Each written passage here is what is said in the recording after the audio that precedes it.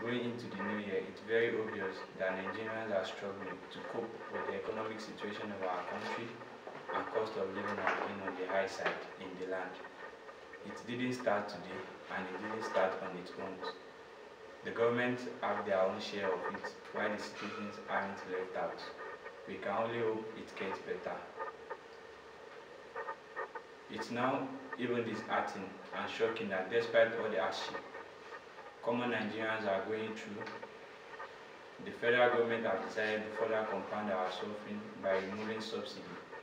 A step like this at this critical time of economic instability is dangerous and malicious. We urge the federal government to find a way around it and ditch the idea of subsidy removal.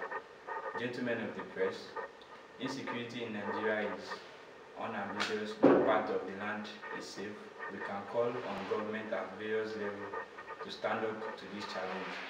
There won't be a government if there aren't people. Nigerians are dying in numbers every day.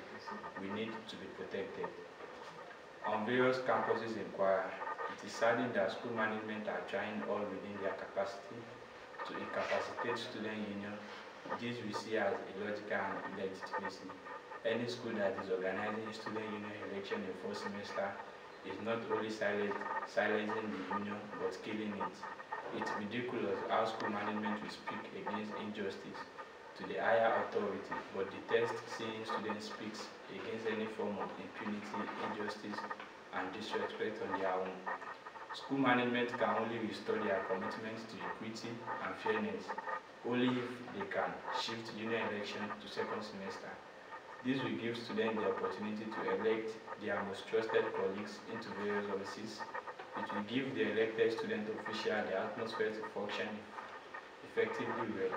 Hence, we employ every school in who holds their student union election in first semester to kindly rethink and do the needful if at all they aren't on a mission to silence, to silence students.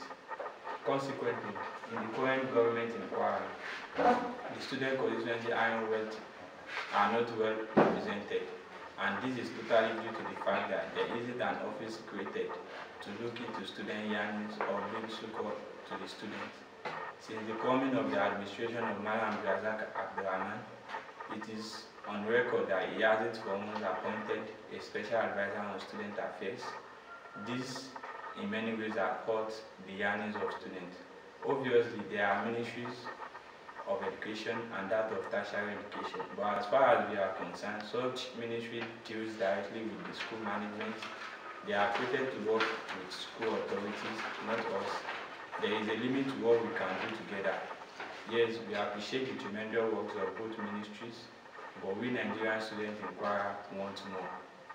There is Nigerian students, we want to seize this August moment of New Year to call on the government of Kwara State to kindly give voice to the student community in the state by appointing a special advisor on student matter. This is the only way we will feel represented.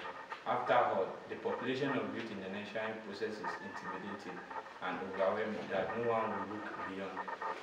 beyond. As a matter of fact, Kwara State Governor Mariam Abdulazak should appoint a special advisor on student matter as soon as possible. We were hopeful that it wouldn't take this long, but we have been so left in a confusion as to when we will be represented. Look around, there are people of immense, immense quality who that can serve as a special advisor on student matters to the government and deliver effortlessly and relentlessly well. Ultimately, once more, we call on Kwara State government under the wings of Man Abdulrahman to return the payment of subvention to our tertiary institutions in the state. Notable among the institutions needs to be subvented are Kwara State University Malete, Kwara State Polytechnic Ilorin, and College of EdTech Offa. Created Nigerian students. The three schools mentioned above have over the years been churning out beautiful brains. They have given us a lot of available intellectuals thanks to the quality of education they offered and still offers. But very recently, these schools are fast becoming a no-go area for children of have Tuition fees, hostel fees, and other fees are what scaring citizens of those schools. The price of those schools are on the very high side, which makes it automatically difficult for the less privileged ones to afford.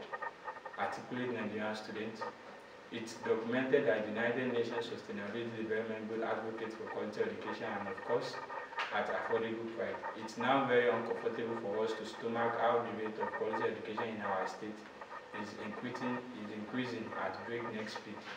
To make education affordable in our state lies with the government. Else, the call for them to subvent those institutions, it's obvious that those schools have been left to themselves for quite some time, and that's the major reason they have not been affordable.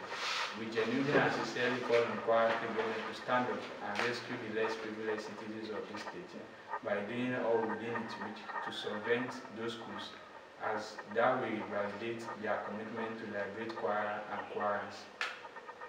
Greatest Nigerian students, we wish each and every one of us a prosperous new year and we pray that the new year shall be a year of ultra information for us.